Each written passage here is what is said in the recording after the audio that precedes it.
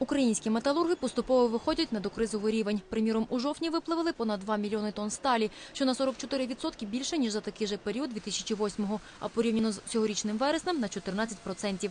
Невеличкий спад, за словами фахівців, буде в листопаді-грудні, та це зумовлено сезонним фактором. Галузь святкує Новий рік. А з його приходом виробництво в секторі, за прогнозами, зросте на 15%. Світовий ринок підніме попит на сталь. На 2010 рік от, з, з, ті тенденції, які спостерігаються в світовій економіці, фактично прогнози споживання сталі в світі вони базуються на е, зростанні от, впевненості е, в розвитку світової економіки. Радіти є, що кажуть експерти, дочекались піднесення виробництва і водночас на неочікувану допомогу від влади. Щоправда, поки на словах у Кабміні обіцяють під кредити дати державні гарантії, щоб металурги відновили модернізацію своїх підприємств.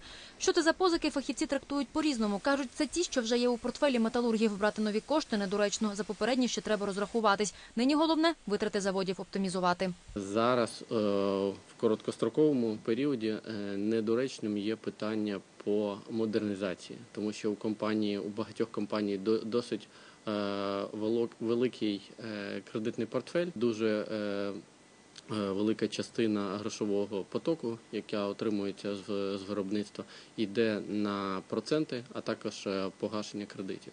Поведінка влади цілком нормальна. Так у Європі чинять, кажуть інші. Втім, як держава гарантуватиме повернення кредитів, експерти відповіді не знаходять. Проте деякі банки готові надати позики.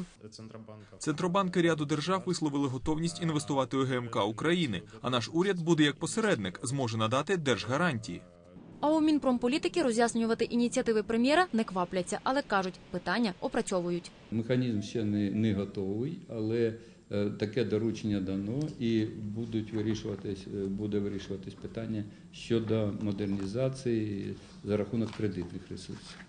Скептично настроєні економісти, щоб щось гарантувати, бюджет потрібний, кажуть. Нинішній вичерпаний, а нового не ухвалили.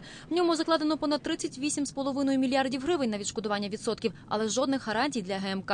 Щоб виконати обіцянку уряду, кошторис доповнити цим пунктом необхідно. І, звісно, затвердити фіндокумент, який маємо звичку ухвалювати тільки в новому році.